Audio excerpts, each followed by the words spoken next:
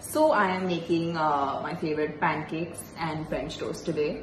Uh, I've been eating quite healthy, but uh, every now and then I just want to eat something really yummy, and it's always best to do it in breakfast. So uh, how I'm making this is I have gluten-free bread for the French toast. Uh, I have some dried up cranberries, blueberries. I have a bunch of assorted nuts which are like chopped finely. So there are walnuts, almonds, pistachios. Uh, there's cinnamon uh, that is going to be going into the egg batter, which already has salt and pepper in it. And this is a ready-made pancake batter. Sorry guys, I'm a little bit of a lazy bum, so I've used a ready-made uh, pancake batter.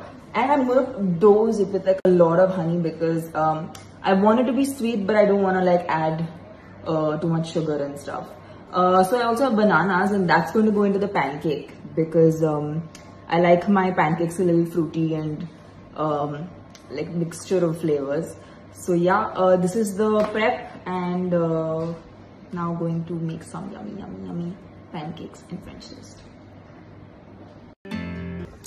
It was so good to go through these pictures like after so long and they're all pictures from my childhood.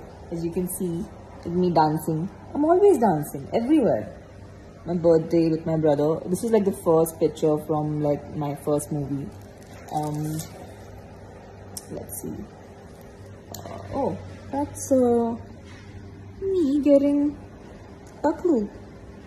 Hmm, that's so cute. Yeah, good old days. Um, yeah, this is another birthday party of mine. I love these bacha parties. It used to be so much fun. My school. My friends from school.